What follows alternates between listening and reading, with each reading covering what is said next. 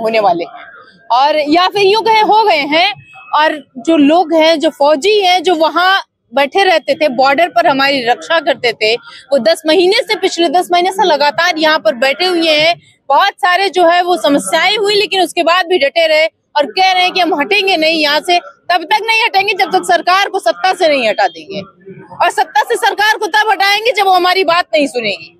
यहीं पर हम बैठे हैं और सरकार को खड़ा कर देंगे। कुर्सी उनको छोड़नी पड़ जाएगी। क्या है सारी चीज़ें? चूँकि कुछ लोग जो है वो लगातार यहाँ पर बैठ के अनशन कर रहे हैं तो वही कुछ लोग सारे पूरे देश में, पूरे भारत देश में घूम रहे हैं। लोगों को जागरूक कर रहे हैं, उस कोने में भी बैठे, फौजी को जागरूक कर रहे हैं, जो भी बैठा है, जो ये सोच रहा है कि जो जंतर मंतर पर बैठे हैं, अगर उनको आरोपी मिला अगर उनको सारी चीज़ें मिली तो हमको मिलेगा।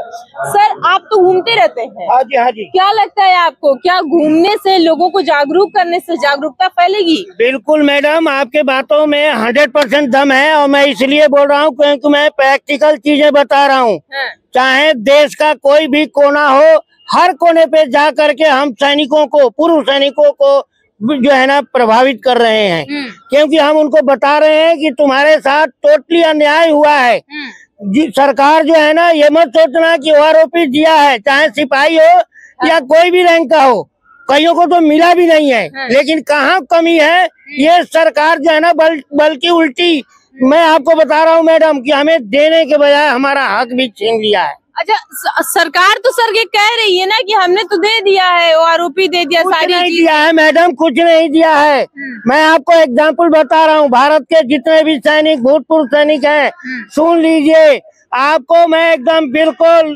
एकदम प्रैक्टिकल के साथ बताता हूँ। इस तरह का मोबाइल आप रखो आपको इस मोबाइल में सारा चीज़ मालूम हो जाएगा दूध का दूध और पानी का पानी। बिल्कुल कि आपके साथ कहाँ अन्याय हुआ है। हम्म, मैडम जब हमारी सेवन पे कमीशन जब बैठी थी हम्म, पहली से पहली सेवन पे कमीशन का जो ओआरओपी वन का जो पहला था वहीं से गड़बड़ी हुआ था। हम्म। ठीक अच्छा, है? गड़बड़ी हो रही है सरकार क्या कह रही है? सरकार कह रही है अपना पल्ला झाड़ रही है। हम सब कुछ दे दिए हैं। उसके बाद भी आप लोग यहाँ पर बैठे हुए हैं ऐसा क्यों? पहले तो आपके सुनने वाले देखने वाले सभी को जगबीर झज्जर की तरफ़ से जय हिंद जय भारत जय किसान एकता जय जवान एकता। हाँ अभी बोलो। सरकार कह रही है कि हमने ओआरओपी दे दिया है, लेकिन उसके बाद भी यहाँ जंतर मंतर पर लगातार बैठे अनशन कर रहे हैं जो हमारे जवान है भूतपूर्व। और कुछ लोग बॉर्डर पर कभी कभी आने के लिए कोशिश करते हैं, उनको वहाँ रोक दिया जाता है, बॉर्डर बंद कर दिया जाता है। अगर वो अपने ज़िले में, अपने राज्य में कहीं अनशन कर रहे हैं तो वहाँ भी रोका जा सकता तो क्या ये सरकार के जो रोकने का सिलसिला है, ये ऐसे ही चलता रहेगा? क्या जो फौजी है, वो ऐसे अनशन पर बैठे रहेंगे? क्या उनकी बातों को सुना नहीं जाएगा? पहले तो आपका धन्यवाद करता हूँ कि आपने बोले आरोपी दे दिया। हम्म। जिस आरोपी दिया नहीं गया वो सिर्फ़ मड़ाई मड़ाई थी। हाँ। वो सारी मड़ाई हिंदुस्तान की अफसरों के पास चली गई। हम्म। क्यों उन्होंने रैंक की भी पे ली कैटेगरी की भी पे ली उनको डबल फ़ायदा होया। हमारे को तो छा भी ना मिली। हम्म। कहाँ से छाव का दूध भी नहीं मिल रहा हमने तो। अच्छा छान दिया किनारे कर दिया। किनारे कर दिया कैमरा घुमाओ ये नीम का पेड़। दो सौ दिन धरना दिया सत, जनरल सतबीर के साथ में। हम्म। और वो सारी मड़ाई ना वो सतबीर चाट गया। हम्म। अफसर थे जितने कैबिनेट में बैठने वाले रक्षा मंत्री के साथ। सारे के सारे वही चाट गए। हमारे को क्या मिल? रहा छा भी ना मिली। हम्म। हमें मिल रहा सिर्फ़ फौज का जूता। हम्म। और कुछ नहीं हमारा प्रगट सिंह साहब है सुबेदार साहब। कितनी ऊँची टंकी थी। वो टंकी पर चढ़ गया था। चौवन साल जिस आदमी की उम्र हो और इस धरने को चला रहा हो और उसका अध्यक्ष हो वो चौवन साल का आदमी नाइन्टी फोर का। हम्म। चालीस अस्सी फुट की हाइट पर चढ़ के बैठ गया। जो रेल रोको आंदोलन था। हम्म। तो तब भी नहीं मानी गई सरकार ने। हम्म। क्या ये सारे सेना जान दे दे तब मानेगा ये मोदी? बहुत बहुत सारे अगर बात करें जवानों की तो उनकी तबीयत भी बिगड़ी है। कुछ लोगों के जो है वो ऐसी भी खबर आई कि उनकी डेथ हो गई है। हाँ डेथ क्यों नहीं होगी? तबीयत खराब हो जाए ठंड लाग जा। हाँ। छाती जाम हो जाए जो अस्सी नब्बे फुट ऊँचे बैठा होगा वहाँ बर्फीले इलाके की हवाएँ ठंडी आती है बाखड़ा डैम के ऊपर जाओ वहाँ बैठो दस मिनट में आदमी जाम कर देता है हम्म उसके पानी इतना ठंडा होता है हम्म। और वहाँ की आब हवा इतनी ठंडी होती है सांस लेना मुश्किल हो जाता है हम्म। आप चले जाओ उधर कारगिल में लेह में चले जाओ ऊँची ऊँची चोटियों पे। ग्लेशियर के साथ में चले जाओ। वहाँ लेना सांस मुश्किल हो जाए मैडम यहाँ तो हम उसमें चांदनी चौक में बैठे हैं बढ़िया पीपड़ की हवा में ली है कभी किसी चीज़ की। हम्म, और हमारे को दुर्भाग्यपूर्ण है इस प्रधानमंत्री ने रक्षा मंत्री ने गृह मंत्री ने अभी तक चार तारीख का टाइम दे रखा है वो चार भी आ गई है आज एक हो चुकी है तीन दिन बाकी हम्म। अच्छा लगातार सरकार आप लोगों को तारीख देती है कभी कहती है दस तारीख कभी पंद्रह कभी बीस फिर कभी तीन चार से शुरू हो जाती है। तो क्या ऐसे ये तारीख पे तारीख मिलती रहेगी? मैडम जिस तरह से न्यायपालिका तारीख पे तारीख दे करके हमें सही न्याय नहीं दे रही है तो हम इस मा- का एग्जीक्यूटिव से हम कैसे उम्मीद करें? हमें एग्जीक्यूटिव पे जरा भी भरोसा नहीं है हमें ऐसे ही टरकाते जाएँगे। क्योंकि मैं देश के सारे फौजियों से जितने भी भूतपूर्व सैनिक हैं निवेदन करता हूँ कि कृपया अपना ई पीपीओ डाउनलोड करो और देखो तुम्हें नेशनल पेमेंट जो सेवन पे कमीशन में दिया गया था तुम्हें क्या पेमेंट मिलता है और आज ये सरकार क्या पेमेंट देती है बल्कि उसमें से भी पाँच पाँच हज़ार हमारी बेसिक काट ली गई है। मैडम तो कैसे आप बोल सकती हो कि आरोपी सरकार ने दे दिया हम नहीं बोल रहे हैं सर ये सरकार खुद ही कह रही है कुछ लोग कह रहे हैं सरकार झूठी अगर आश्वासन दे तो क्या हम मान लेंगे हम्म। वो तो बोली थी की दो दो करोड़ नौजवानों को नौकरी देंगे। लेकिन आज तक देखो हमारे तीन बच्चे हैं। तीनों का तीनों सरकारी नौकरी से। जो है वंचित। है कि एक लड़का हमारा सीडीएस में भी पास किया एलडीए में भी पास किया दो बार और एयरफोर्स जो है ना ऑफिसर एग्ज़ाम में भी पास किया था। लेकिन आज भारत सरकार जो है क्या वो एकदम योग्य लड़का था लेकिन नहीं दे पाई। हम भूतपूर्व सैनिक को अगर जब उसने नहीं दिया तब तो आज हम इस धरने पे बैठे हैं। कि नौजवानों को तो हक खा रही है। आप देखिए बिहार से और पता नहीं कहाँ कहाँ से लड़के आ रखे हैं। और वो बेचारे एयरफोर्स आर्मी जो भी एग्ज़ाम था वो एग्ज़ाम दे करके दो दो साल की तैयारी अपनी पैसे की कुर्बानी करके तैयारी किए थे और, और उनको नौकरी भी नहीं दिया। और उनका एज एक्सपायर हो गया तो कहीं लायक नहीं है बेचारे। आज जनता मंत्र पे दर दर की ठोकरें खा के हमारे पास आए हैं। कि कृपया आप लोग न्याय दिलाइए। अच्छा सरकार जो कहती है जय जवान जय किसान तो क्या ये खाली ऐसे कह देती है बस? बिल्कुल मैडम चाहे वो कांग्रेस की सरकार हो या भाजपा की सरकार हो या किसी भी सरकार को, कोई भी पार्टी की सरकार हो सब झूठा आश्वासन देते हैं कि जय जवान जय किसान। ये जवानों और किसानों पे अपनी जो है पॉलिटिक्स करते हैं। लेकिन मैडम मैं आपको आश्वासन दे रहा हूँ कि हमारी पार्टी बन चुकी है। भारतीय जवान किसान पार्टी जो है 2024 में हम इसका घोर विरोध करने जा रहे हैं। इसी मुहिम में हम देश के हर कोने में घूम रहे हैं। हम्म। हमें यहाँ पे जंतर मंतर पे कम देख रही हो। सर सर सर एक चीज़ बताइए। हाँ, बोलिए। क्या कोई नई राजनीतिक पार्टी बनाने हाँ जी हाँ बन गई है। राजनीतिक पार्टी बन गई। सर मैडम ये बताओ जब हमारी मांग को अगर सरकार मान नहीं रही है सुन नहीं रही है तो आर्टिकल चौदह क्या कहता है? आप बताइए हम पढ़े लिखे जो है ना ये भी नहीं है। हम एक एक कानून का एक एक नियम हम बता सकते हैं। जब जो है चौदह आर्टिकल नंबर फोर्टीन क्या कहता है? हमें समानता चाहिए इकोनॉमिकल समानता।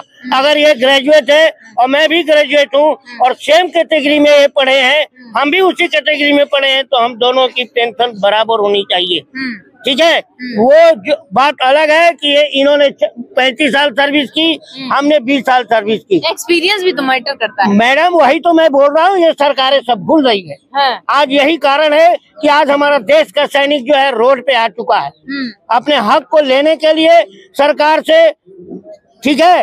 अपने हक को लेने के लिए बार बार निवेदन कर रहा है कि भाई अभी भी वक्त है 2024 आने में आप सुधार जाओ। नहीं तो सैनिक अब जाग चुका है सुधार के रहेगा। जिस तरह से सैनिक जाग चुका है देश का नौजवान और किसान ये दोनों भी हमारे साथ मिल करके आज जाग हो चुके जागृत हो चुके हैं। और हम जो है 2024 में सरकार अगर नहीं सुनी तो हम धज्जियाँ उड़ा देंगे। अच्छा सरकार अगर नहीं सुनी चौबीस में तो हम धज्जियाँ उड़ा देंगे।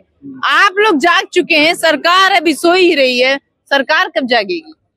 सरकार जब गई जब यहाँ सैनिक रोड पर बैठा है। हम्म। पहले किसान बैठा है रोड के ऊपर। तेरह महीने।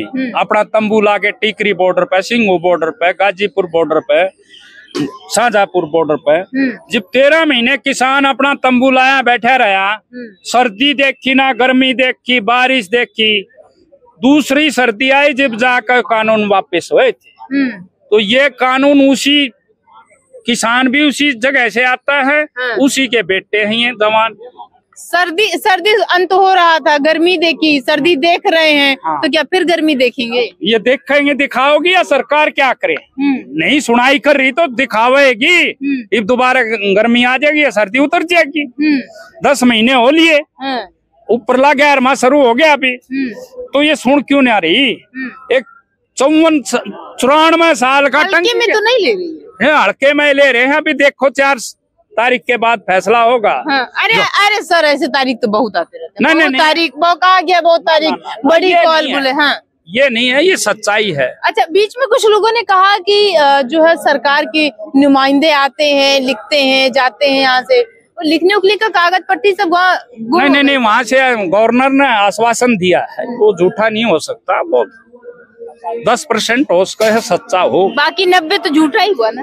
हाँ नब्बे हाँ। देखो अभी आने वाला समय चार तारीख है तीन ही तीन दिन तो बाकी है। हाँ, तीन दिन बाकी है दस परसेंट सच हो सकता है ये, ये जो गवर्नर की बात है हम वहीं उसी दिन थे हाँ। और हमें जानने के लिए थे कि गवर्नर ने क्यों बुलाया है हाँ। जब हम जब हम उस गवर्नर को मुख्यमंत्री को एमपी को एमएलए को जब लिखित हम भेज चुके हैं सबके पास मेमोरेंडम लेकिन किसी ने कुछ नहीं सुना लेकिन चूँकि जो है ये पहली हमारी लड़ाई थी हमने गवर्नर को मेमोरेंडम दिया हुआ है ठीक है? लेकिन अगर चार तारीख को भी गवर्नर साहब के कहने पे ये भारत सरकार अगर हमारी सुनवाई नहीं करती है तो हम जो मैडम आपको आप बता देता हूँ कि इससे भी बड़ा घोर परिवर्तन लाने के लिए हम संघर्ष करने के लिए तैयार हैं। घोर परिवर्तन बिल्कुल अब ये परिवर्तन ये हमारी गुप्त बातें हम खोल खोलना नहीं चाहते।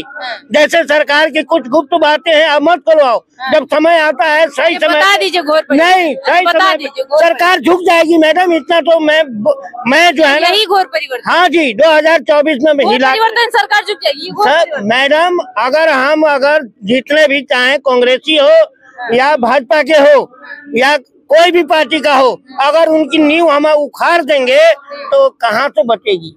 विपक्ष भी तो यही कह रहा है ना न्यू विपक्ष तो चुप बैठा है क्योंकि उसके नेता साले दो दिन के लिए देखो अब गाली दे रहा हूँ क्योंकि दो दिन के लिए जीत के आते हैं और पेंशन बना लेते हैं। लेकिन ये फौजी आज अपने अपनी मांग के लिए आज पता नहीं आज आप देख लो एक साल होने जा रहा है और अपनी मांग के लिए दर दर ठोकरे खा रहा ऐसा तो नहीं कि विपक्ष मिल गया। नहीं मैडम विपक्ष को तो हम दूर हम हिलने भी नहीं देते मिलने भी नहीं देते हम साथ भी नहीं आने देते।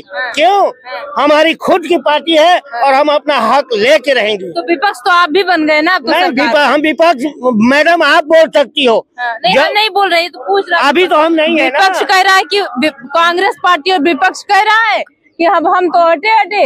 ये तो हमारी जगह ले लिए। मैडम ऐसी बात नहीं है। पहले हमें अपनी जो है ना देखने दो सरकार कहाँ तक जो है सुधरती है। अगर नहीं सुधरती है तो हमने कसम खा ली है कि हम सुधार के मानेंगे। कैसे सुधारेंगे? अब ये देखो आगे आगे होता क्या है। अभी आपने कहा कि हम गिरा देंगे। बिल्कुल अब क्या होगा वो देखते जाओ। हाँ। ये बैठे हुए सैनिक हैं। पिछले दस महीने से बैठे और इनका कहना है, जिस तरीके से किसान बैठे थे तेरह महीने तक, तब उनको जाकर उनका हक मिला। ऐसे ही हम भी बैठे हैं। दस महीने हो गए हैं तीन चार महीने की बात बैठे रहेंगे और एक रिकॉर्ड बना देंगे कि भाई हमको भी तक तभी अपना जो हक मिला है। जब हमने यहाँ पर एक साल से ज़्यादा टाइम जो है वो लगातार यहाँ पर धरना दिया और चार दिन की, चार तारीख को इनको जो है एक और आश्वासन मिलेगा। देख